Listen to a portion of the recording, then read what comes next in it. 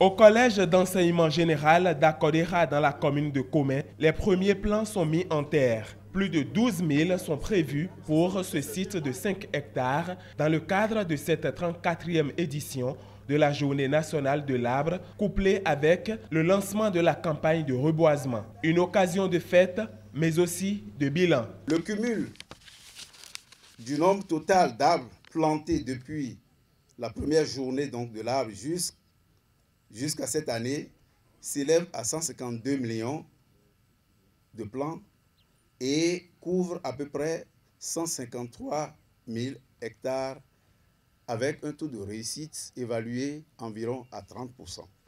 Arbre, économie verte et ville durable. Un thème qui demande la mobilisation de chaque citoyen, où qu'il soit.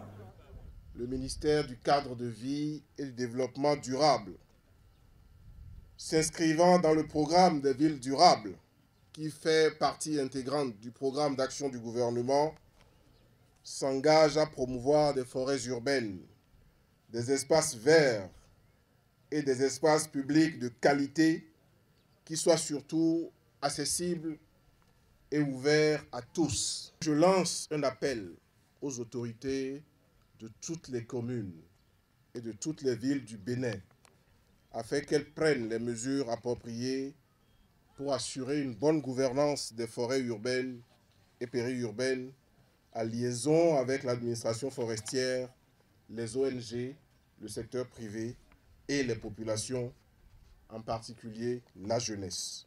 Pendant que cette cérémonie se déroule à Comé, toutes les, toutes les autres communes du Mono célèbrent cette journée en vue de la mise en terre de 20 692 plants sur 8,55 hectares.